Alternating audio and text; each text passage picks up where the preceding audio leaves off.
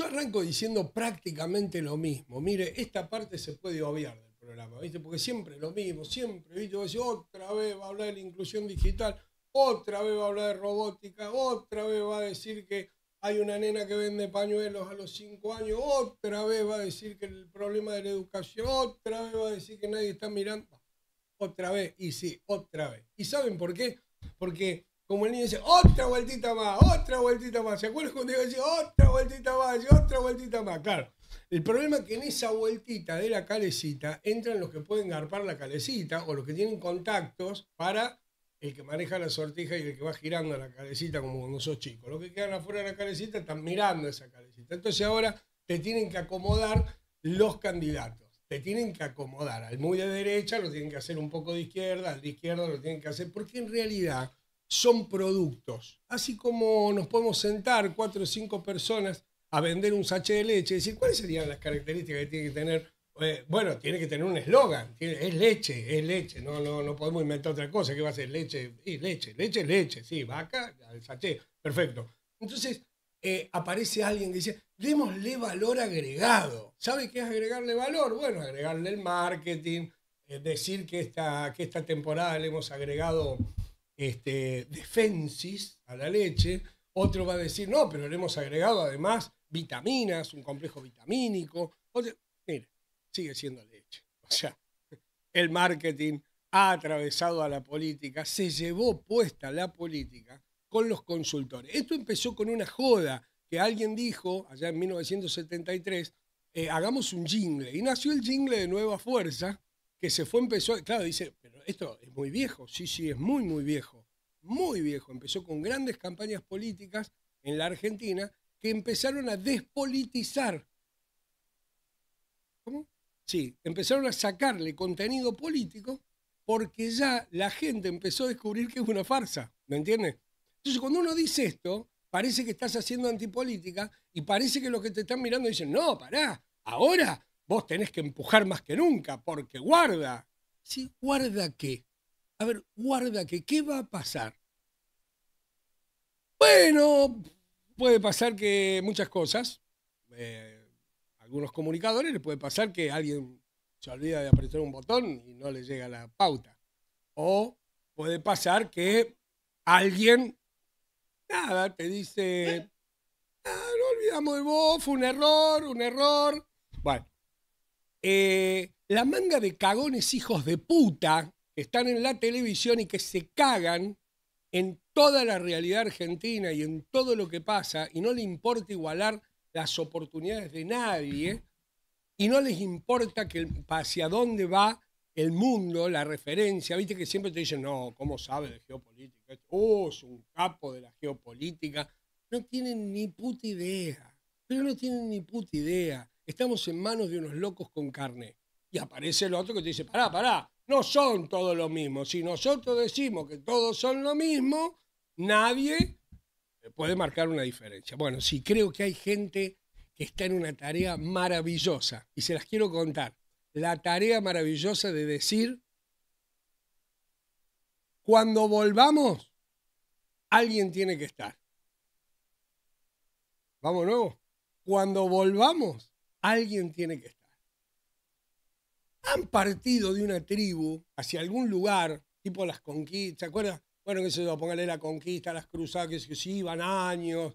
Bueno, se han ido años a pelotudear, a dar una vuelta por cosas, y ha quedado un pequeño fogón, un rescoldo, que la tarea de algunos es ir y moverla, y decir, pará, están las universidades, están los sindicatos, están los pactos sociales, están los derechos humanos, eh, está eh, una mirada sobre la tecnología y sobre lo que está pasando en el mundo, hay una mirada sobre nuestra soberanía digital, sobre el extractivismo de datos, sobre todo esto, esto está acá, está apagadito. Acá lo importante es ganar, y usted ahora lo va a ver mejor que nunca, es ganar. Bueno, dime de qué careces y yo te haré el acto para darte esa vitamina que vos necesitas para que el progresismo argentino te vote. Bueno, es que es medio de derecha el candidato, no hay problema, ponerle un avión atrás, no drama, lo, limpiamos, lo limpiamos, no drama. Eh, sumale, sumale, ¿hay algún progresista por ahí dando vuelta? ¿Hay algún... Eh, vení, vení, parátele al lado en todos los actos. Ayúdalo, ayúdalo con la tarea, ayúdalo con esta tarea. Yo quiero decirles esto porque mucha gente arranca programas diciendo aquí solamente la verdad. Y otros te dicen, esta es la realidad. Bueno, no, ni es la realidad ni es la verdad. La verdad hay que sostenerla. Sostenerla cuesta un huevo y medio en los medios de comunicación de Argentina. Por eso surgen estos streaming, por eso las mejores notas se hacen en Internet. Eso va a terminar. Nosotros sabemos que este juego va a terminar porque lo van a regular y porque te van a bajar y porque esto también se lo van a llevar puesto, porque no es que el streaming y la internet y, esto del YouTube y todas estas cosas que estamos haciendo son fantásticas y van a seguir ahí. No, sabemos que no. Están un poco más alejadas de la presión que tienen los canales de cable, eh, que están muy presionados por la pauta, por el negocio y que están todos en el... Y algunas radios también que hacen la cantinela eh, junto con las redes sociales que componen el ecosistema de pelotudez donde ahora usted tiene que, cuando escucha masa, ¿entendés? O le dicen masa, usted escucha Camilo Cienfuegos. Y cuando le... ¿Me entiende? ¿Me entiende lo que le estoy diciendo? No, Sergio es masa, no va a ser otra cosa. Ahora sí discutamos. No, es necesario para ganar, nosotros tenemos que tener performance, Guado no llegaba, escuchó esto, ¿no? La segunda jugada magistral de Cristina para ganar elecciones, esperemos que con esta podamos gobernar, porque con la anterior no nos salió, no, no gobernamos, fue toda la mierda. Éramos casi parecidos a ellos. Entonces, cuando todo es parecido, eh, hay gente que sigue. Y entonces vos venís y decís, y me encanta el Chivo Rossi, claro que quiero que esté el Chivo Rossi, pero es el candidato a vicepresidente. Y alguien salta y te dice, pero todavía hay que ganar. Ah, todavía hay que ganar, pero porque ya lo estamos poniendo como, como un dato. Bueno, em, ¿es bueno? ¿Es malo? No sé, quizás sea la mejor eh, de las estrategias. Vamos a suponer que así como no conocíamos quién era Néstor Kirchner, tampoco supiéramos, eh, eh, hubiéramos sabido hasta este momento quién es Sergio Massa. Y ponele que el tipo llega, toma tres medidas populares, se da vuelta y este servidor tiene que estar pidiendo disculpas el año que viene, acá diciendo, no, la verdad, me he encontrado este, con una persona con una humanidad como la del Pepe Mujica este, y con las capacidades intelectuales de Winston Churchill y además con la em, nada, precisión política de Vladimir Ilich Ulyanov. Póngale que eso suceda. En ese caso, este servidor pedirá disculpas, vendrá y dirá, me equivoqué. O sea, perdónenme, el pibe es un fenómeno, es un genio, bárbaro. El problema de esto es cómo se empiezan a acomodar todo, ¿no? O sea, hay que acomodar para que entre. Sos demasiado progresista, mire. Les voy a contar una anécdota cortita y arrancamos el programa, pues están todos mis compañeros que tienen cosas más interesantes que yo para decir, pero quería decir esto. Cuando el editorial Atlántida segmentaba este país de acuerdo a lo que vos querías, si a vos te gustaba el deporte, te daban el gráfico. Si a vos te eras chico y ibas a la escuela, te metían Villiquen. Si a vos te gustaba el campo, te daban la revista Chacra. No vayas a hacer cosas que fueras medio pelotudo o pelotuda, te metían la para ti. Querías algo para hacer en tu casa, tenían la moda. Era el, era el conglomerado de, revistas hechos a medida de cada uno. Tenemos mucho progresista que no va a soportar a este, no hay problema, dale linterna a Grabois. Y vos decís, pero ¿por qué? No había paso, iba muy con lista única, pero los de Grabois están en la. En el, todos los diputados y todos los de Grabois están en la lista de acoso, solamente el presidente. O sea, no me gusta este, elijamos este con este otro. No son galletitas de animales. No es que pongo, dame el elefantito que ya me comí el tigre. No, no, no es así. No es un juego de chico. Tiene que haber un proyecto. Este país no tiene proyecto hace años. No sabe a dónde va. No sabe cuáles son las cosas que le estamos ofreciendo a la sociedad para producir un real cambio. Mire, ayer mi contador, que estábamos charlando de una cosa, me dice, le va a ir muy bien a la Argentina. Yo, imagínense, sábado a la noche hablando con un contador, le digo, parece malatón, pelotudo. Y ahora me dice, no, no, va a crecer cinco puntos por esto, cuatro me llevo cinco, vamos a hacer esto, y va bien el litio, viene vaca muerta, a la Argentina le va a ir muy bien. Y yo digo, pero ¿qué más quiero yo que a la Argentina le vaya muy bien? El problema es haber escuchado que cada vez que fue, le fue bien a la Argentina, solamente hubo tres gobiernos, tres gobiernos, donde le fue bien a la gente.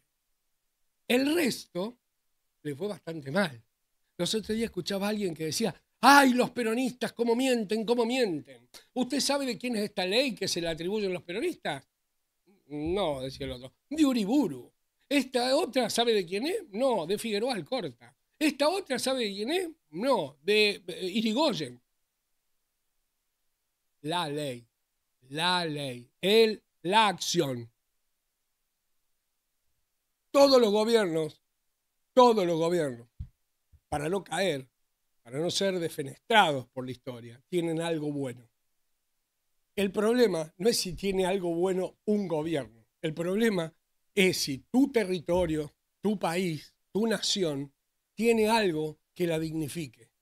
Porque si no, estamos creando una generación de pelotudos con revoluciones a medida y propias. Usted lucha por la ballena franca, usted lucha para ser una estrella de rock and roll, usted lucha para eh, imponer la palta en el mundo, la revolución de la palta o de lo que se le ocurra. Esta es mi revolución, yo no tengo un proyecto de país, tengo un proyecto, tengo un proyecto que voy a compartir con cuatro, con cinco, con diez y que van a ser mi proyecto. Y me cago en la tapa del piano del Colón, porque es mi proyecto. Bueno, así nos va. Es el precio más alto que podemos pagar. Y vuelvo al inicio del programa, donde me encanta decir que hay una cantidad de gente que sí tuvo que ver con ese país que queremos construir para todos, ese país potencia mundial, ese país que sabe qué hacer con el litio, ese país que sabe qué hacer con la inclusión digital, ese país que discute una renta básica universal para enfrentar los problemas del trabajo al futuro, ese país que va a discutir o que debe discutir nuevamente la ley de medios como pide el candidato a vicepresidente Agustín Rossi. Sin ley de medios que incluya lo digital, sin una nueva ley de medios, no hay democracia. Si no morfamos todos, no hay democracia. Si no hay igualdad de oportunidades en la educación y no repensamos la educación argentina, no hay democracia. Si el peronismo no vuelve a ser lo que fue, no hay democracia. Si el radicalismo, mire lo que le digo, no vuelve a ser lo que fue, no hay democracia. Algunos de los otros días me decían, no te veo tan preocupado por el internet, estoy preocupado por el Partido Justicialista que está cerrado, está tomado. Hay un, hay un, el presidente de la nación puede ser socialdemócrata y radical, pero el presidente del Partido Justicialista no puede ser radical, no puede ser, ¿me entiende? Porque es como cuando Menem mandó a que, ¿se acuerda del papelón de Menem cuando dijo, ojalá esto lo pueda eh, conducir eh, un, latinoamericano alguna vez? Y estaba hablando en, un, en una cosa absolutamente europea. Y, fue un, chiste, una, fue, el reír del mundo porque no podía, no podía porque era de Europa, nada más que de Europa. Esto es igual. Un radical no puede conducir el Partido Justicialista. ¿No le gusta escuchar esto? Nos van a hacer mierda, nos van a meter una operación, nos tenemos que ir a patar por... Listo, nos vamos, nos vamos, seamos dignos, vamos no con la dignidad. ¿Cuánto vale la dignidad? ¿Cuánto vale el poder decir esto? ¿Usted sabe la cantidad de gente que hay en C5N, entiende, que está tratando de decir esto, que lo tiene Hace años, años que tienen esto, que quieren decirlo, que quieren poder sentarse en una mesa. Gente que está en los cables, en, bueno, ni hablar. Gente que labura, que por ahí consiguió un laburito en la Nación hace muchos años, está ahí y ve lo que hace la Nación y dice, no. Es como no poder respirar. Son buzos que los mandan sin tubo de oxígeno, no pueden hablar, no tienen esa dignidad para cagarse en la tapa del piano. Y alguien tiene que hacerlo y alguien tiene que decir, si vuelven, acá vamos a estar para discutir los temas. ¿Qué vamos a hacer? Argentina, satélites, lanzadores de satélites, los ponemos en órbita. ¿Para qué? ¿Cómo? ¿Cuándo vamos a empezar a decir tenemos la TDA funcionando? Ese proyecto maravilloso que era tener televisión digital abierta, gratuita, con una programación que usted quiera bajársela y sea gratis. ¿Hasta cuándo vamos a dejar que Netflix, HBO, Paramount y Flow nos digan qué miramos? ¿Cuándo vamos a ver esa discusión que a tanto le importa? Mira, la TDA puede esperar. Siempre te dicen la TDA puede esperar. La TDA puede esperar. algunos me decían, la TDA, ¿quién le va a importar la TDA? No, si, la gente, la verdad que no le interesa mirar películas, ¿qué, lo hará hace, no sé, cuántos años, no? El teatro, ¿qué, puede tener? Cinco siglos, ¿no? Una boludez, ¿no? La verdad que para qué vamos... Esa pelotudez humana que nos deja afuera y que le entrega los negocios a unos poquitos que deciden como carrier, transportando datos, con extractivismo de datos llevándoselos del país, nos están haciendo mierda, pero mierda. Y nadie tiene las pelotas de pararse y decir, che, pará, discutamos un proyecto. ¿Qué estamos discutiendo si fulano va en una lista o va en otra lista? ¿En serio vos crees que es tan grande la diferencia? ¿En serio vos crees que se puede estar tan alejado de los bancos y del poder hegemónico mundial si uno no tiene un proyecto, si uno no tiene un plan. El único que habló de un plan quinquenal fue Kisilov. Nadie quiere planificar nada. Los gobernadores nadie sabe lo que piensan, gana uno, gana otro. La verdad, la gente sabe qué dice, puede estar igual. Porque la gran pregunta es, ¿cuánto vale esa revolución a medida? ¿Cuánto vale seguir trabajando sin mirar al otro?